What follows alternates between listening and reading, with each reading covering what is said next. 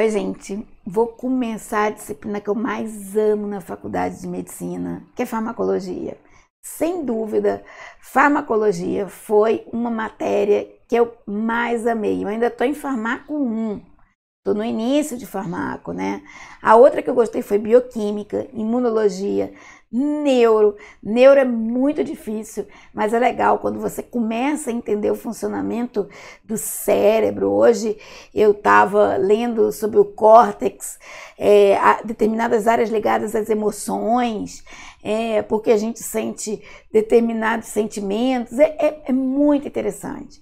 É, medicina é um novo mundo que você descobre e que você acaba não conseguindo mais viver sem. Tudo você quer uma explicação é, ah, eu sou assim porque o receptor tal, a ligação química tal, na, na, na, célula tal. Então, assim, você começa a ter uma explicação do mundo que você não consegue mais viver sem. É um mundo mais lógico, um mundo é, que você aprende a confiar mais. É o mundo é, da ciência. É muito interessante. Então, eu vou começar o primeiro módulo, que é o módulo de farmacocinética da disciplina de farmacologia. Nesse, nesse, nesse módulo, a gente vai tratar de farmacocinética, biodisponibilidade, bioequivalência, via de administração e absorção. Vamos começar. Gente, o que, que seria é, farmacocinética? Né? Já que a farmacologia ela é dividida é, em dois tópicos. Ela é dividida em farmacocinética e a farmacodinâmica. A farmacocinética é o que o seu corpo faz com o fármaco assim que ele entra em contato com o seu organismo. A farmacodinâmica seria o que o fármaco faz com o seu corpo, a ação que o fármaco faz no seu corpo. E ali a gente pode ver, ele pode ter uma efetividade ou uma toxicidade. Por que, que eu falo isso? Porque o fármaco ele vai fazer uma ação muito singular em cada pessoa. A gente espera que ele faça é, determinado efeito, mas esse efeito ele não é um efeito isolado. Ele vai interagir com o organismo que está tomando ele. Então ele pode é, agir em polimorfismos de receptores diferentes. Então, assim, ele pode se ligar em determinado receptor e não vai agir da mesma forma nos receptores que a maior parte da população tem. Então, ele pode, uma determinada pessoa pode ter um polimorfismo naquele receptor e aquele fármaco não lhe cair bem ou lhe cair até bem demais. Então, o fármaco mais a pessoa é uma reação, uma reação muito singular uma reação única quase. Quando a gente passa algum medicamento para alguém, a gente está acreditando nas pesquisas, né? Na, na, na, naquele intervalo de pesquisa que a gente teve e, e, e, que deu determinado resultado. Mas todo mundo que já leu uma bula de remédio vê que ele tem 1%, 0,1% da população não teve uma ação tão legal. E isso aí é muito porque o fármaco ainda não é, alguns medicamentos ainda não são tão focais. A substância ativa dele pode se ligar no receptor que a gente quer que ele haja, mas pode se ligar também em outros receptores e pode se ligar a uma subunidade do seu receptor. Então, é, farmacologia é pura química. E como eu gostava de química, eu amei farmacologia. Então, vamos começar com farmacocinética, o que o corpo faz com o seu fármaco. O fármaco ele vai ser administrado numa determinada dose, vai sofrer um processo de absorção. Aí é que tá. Ele vai ter, ele vai ou não vai passar pelo fígado, depende do local onde ele for administrado. Se ele for administrado via oral, ele vai ser absorvido por meio do trato gastrointestinal. O trato gastrointestinal todo, todo o trato gastrointestinal, até a porção é, inicial do reto, ele passa por um o que a gente chama de metabolismo de primeira passagem. Ele vai passar para o fígado antes de ser distribuído pelo organismo. Então ele vai ser modificado ali no fígado. Uma parte dele não vai ser modificada, uma parte dele vai ser modificada e às vezes essa parte modificada vai se perder. vai ser excretada e vai direto depois para a excreção renal, mas tem outros meios de excreção, né? Uma parte dele vai ser excretada e a outra parte que não foi modificada vai para a circulação sistêmica, vai ser distribuída nos tecidos e vai para os sítios de é, ação, onde ele vai agir. Aí depois vai passar novamente pelo fígado, vai sofrer a biotransformação que ele não sofreu de início, e aí sim ele vai ser excretado. Mas não termina por aí. Quando eu comecei a estudar farmacologia, eu ficava nessa dúvida, mas vai passar pelo fígado? Não vai? O que, que vai acontecer? O que pode acontecer? Porque o fígado é o local nos hepatócitos que a gente tem um grupo de enzimas chamado enzimas da família P450. Esse grupo de enzimas, elas podem fazer diversas mudanças no fármaco, diversas mudanças naquele medicamento. Então, de repente, você toma um medicamento chamado pré-fármaco. Esse medicamento, quando você engole, quando você ingere ele, ele ainda não é o fármaco ativo. Ele tem que passar pelo fígado para virar o que a gente chama de metabólito ativo, aí ser distribuído pelo organismo, ser distribuído para os tecidos pelo sítio de ligação e fazer o efeito desejado. Como também tem fármacos que vão passar pelo fígado, é, alguma parte vai ser excretada, outra vai passar intacta depois ele passa a parte intacta, passa novamente pelo fígado, vai se transformar no metabólito ativo, que vai ser distribuído, vai fazer ação, passa de novo pelo fígado, vira outro metabólito ativo, que vai fazer outra ação, passa pelo organismo novamente. Por exemplo, a classe dos benzodiazepínicos, que são ansiolíticos, eles sofrem muita modificação. Eles passam pelo fígado às vezes, duas vezes, e eles novamente se transformam em outro metabólito ativo, outro fármaco ativo. Tem classes de benzodiazepínicos que fazem que permanecem no organismo até quatro dias. Durante quatro dias, você vai ter esse tipo de, de medicamento no organismo. É por isso que ele é tão perigoso de ser dado para idosos. Ele começa a se acumular e de repente a pessoa pode perder a consciência, levar uma queda, cair. Então, são fármacos que ficam durante muito tempo para depois ser excretado.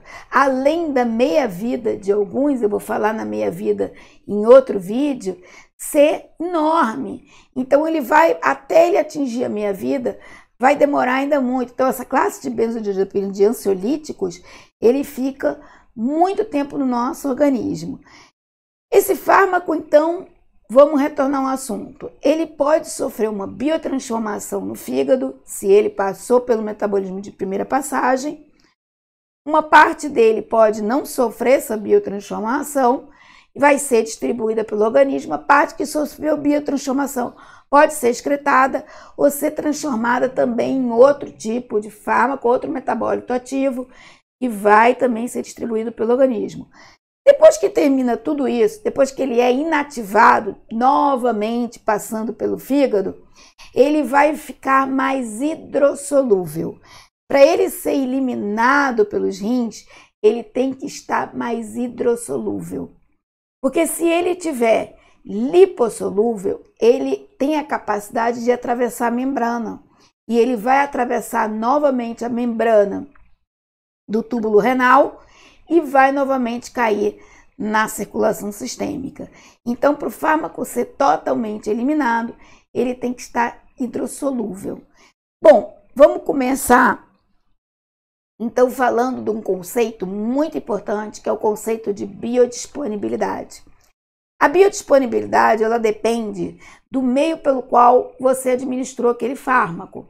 Se você administrar diretamente na, no vaso sanguíneo, ele vai ter uma biodisponibilidade total. Ele vai estar ali quase 100% na sua circulação.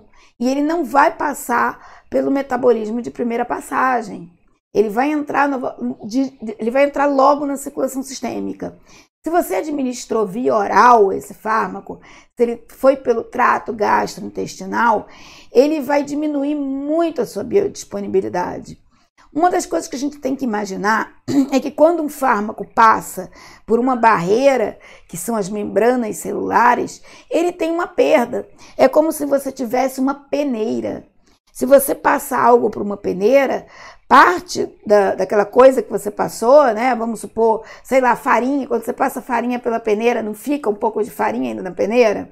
Então, esse fármaco também, quando passa pelas nossas membranas celulares, ele perde um pouco dele.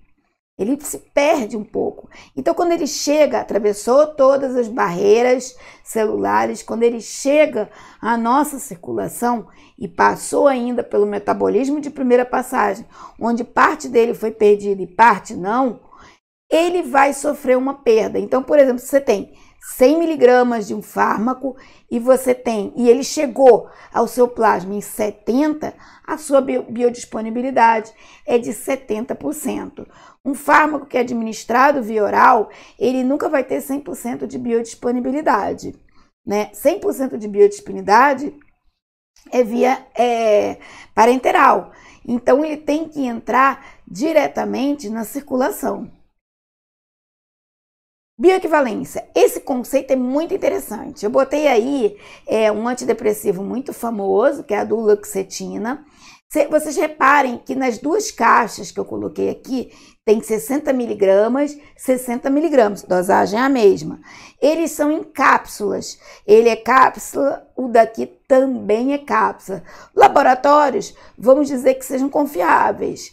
Se eles têm as mesmas miligramas, ao meio de administração, a cápsula, tipo de cápsula, tudo é a mesma coisa. E a quantidade também dele está igual, a gente vai dizer que eles são bioequivalentes. Eles vão ter a mesma biodisponibilidade, porque eles vão ser administrados via oral e eles são pelo mesmo tipo é, de, vamos dizer, de, de cápsula, de mecanismo de transporte da substância. Então, eles são bioequivalentes. Existe um conceito que são muito importante em farmacologia. Um deles é o princípio ativo. O princípio ativo é a substância responsável pelo efeito.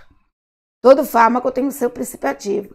Esse é contempla a massa e o volume do fármaco, possui funções na formulação, mas farmacologicamente são inativos.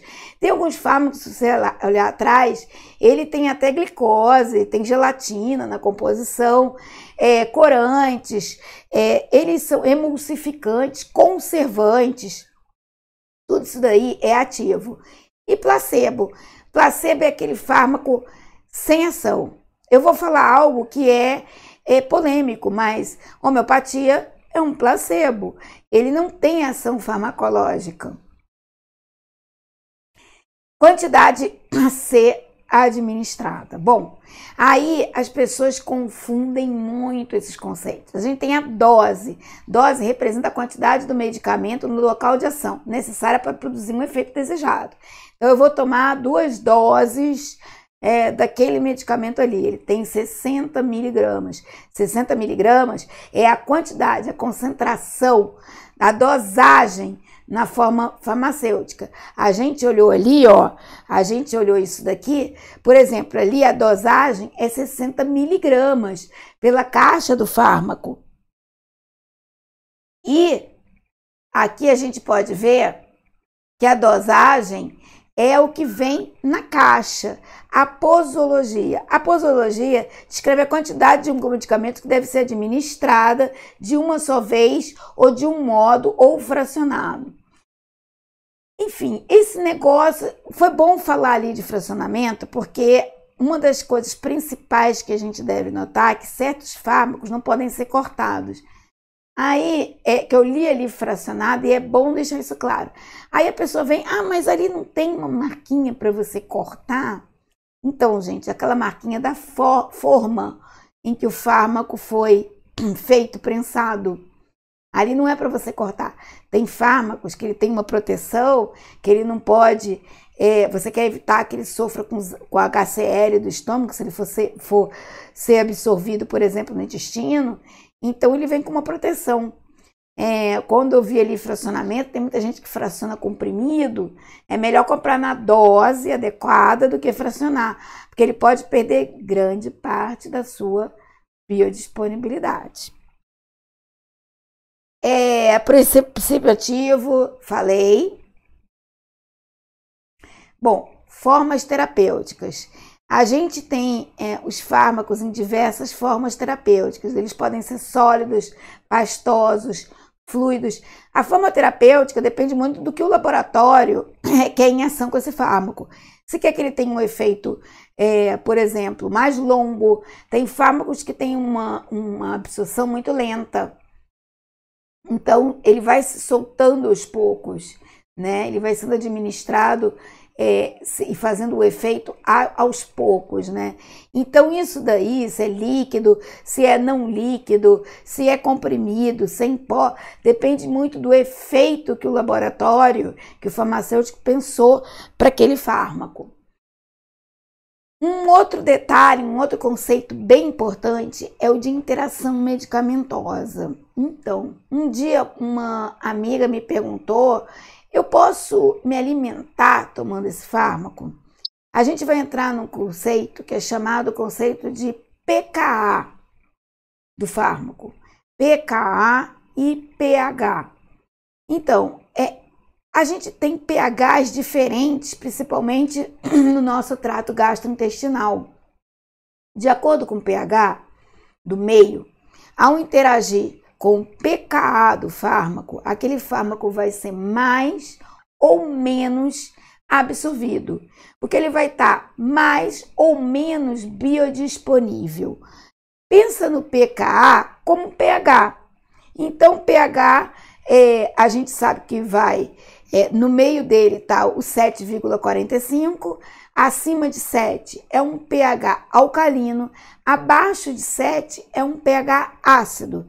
Então, acima de 7 é um pKa alcalino, abaixo de 7 é um pKa ácido. O pKa de um fármaco é quando ele está 50% ionizável, quer dizer, hidrossolúvel, não biodisponível, e 50% é lipossolúvel, biodisponível para ser absorvido pelas nossas membranas celulares. O fármaco ele precisa estar tá lipossolúvel para ser absorvido. Eu vou dar uma aula só sobre isso. Aguenta firme.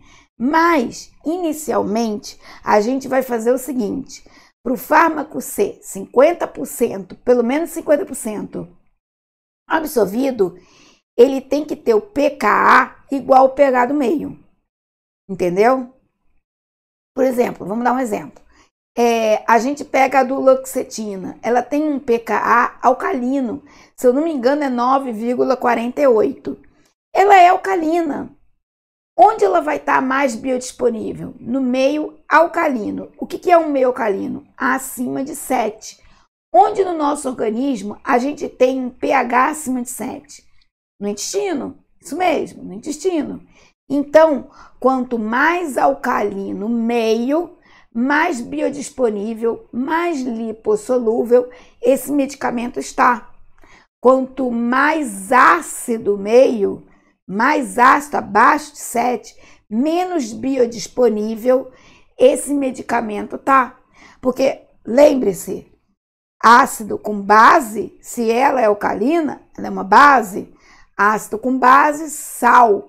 Sal se ioniza e produto ionizado não passa pela membrana plasmática das células. Esse conceito é muito fácil. Então vamos pegar, por exemplo, um medicamento que tem o pKa de 4. É um pKa ácido. Onde ele vai ser melhor absorvido? No estômago.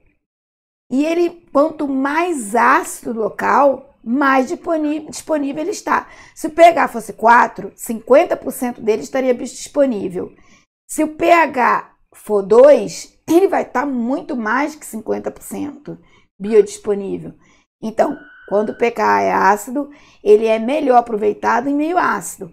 Quando o pKa é alcalino, ele é melhor aproveitado em meio alcalino. Por isso que às vezes é, você se alimentar junto com um fármaco que tem que ser absorvido no estômago, então é um fármaco ácido, você vai tornar o meio menos ácido e esse fármaco vai estar menos biodisponível. Isso se chama uma interação medicamentosa, que, como ali diz, pode interagir com o alimento e com outros fármacos também, com bebida, com água. Se você tornar o estômago menos ácido, com água ou com qualquer outro tipo de solução que alcalinize mais o meio, você vai absorver menos um medicamento que seja que tenha um pKa ácido. Agora, a gente também tem interações medicamentosas é, com outros fármacos. Vou dar um exemplo. Para a gente ter um fármaco, eu falei há pouco tempo, ele vai ter que passar pelo metabolismo de primeira passagem, vamos supor, que é, é no estômago. Então, na primeira passagem. Ele vai estar tá lá no estômago para ser excretado, tá? Ele vai passar pelo, pelo estômago, não, pelo fígado, desculpe, pelo fígado. Ele vai passar pelo estômago, só, eu tô louca, hein? Ele vai passar pelo fígado, ele vai é, passar pelas enzimas de, é, de, biotransformação, que é da família P450, CYP alguma coisa, vamos supor, CYP alguma coisa. Ele depende dessa enzima para ficar mais hidrossolúvel, vamos supor, e ser excretado pelos rins. Só que você está tomando, por exemplo, álcool ou qualquer outra bebida que seja metabolizado também por essa enzima. O seu corpo, quando é, fica é, constantemente, por exemplo, a pessoa é etilista é, crônica, ela toma cachaça constantemente. O organismo dela está cheio, o fígado está produzindo assim dessa enzima. Então, esse fármaco, que é metabolizado pela mesma enzima do álcool, vai cair, vai cair na circulação, vai passar pelo fígado e ele vai ser metabolizado assim que cai na circulação sistêmica. Então ele vai estar tá menos biodisponível. Tá? Isso é uma interação com um agente que é o álcool. Mas medicamentos também podem causar isso. O medicamento, às vezes, pode roubar a enzima que iria metabolizar o outro fármaco. E aquele fármaco, de repente, se torna em grande concentração na circulação sistêmica e vai causar um efeito tóxico no organismo. Então, interação medicamentosa, interação com alimento, que é um medicamento também, tudo é molécula, pode tornar aquele fármaco em maior quantidade na circulação sistêmica, pode tornar aquele fármaco em menor quantidade na circulação sistêmica e pode também tornar aquele fármaco em níveis tão elevados, porque ele não consegue ser excretado, porque a enzima dele está meta metabolizando outro fármaco, que pode se tornar tóxico para a pessoa. Ou também a pessoa pode ter doenças, pessoas com cirrose, elas não têm enzima para metabolizar o fármaco, elas têm menos. Então, qualquer fármaco se torna é, tóxico. Tem que diminuir a dose, às vezes, do fármaco para dar para pessoas que sofrem de cirrose ou doente renal. Então, interações medicamentosas é uma área muito extensa, vai ter uma, uma aula só sobre isso.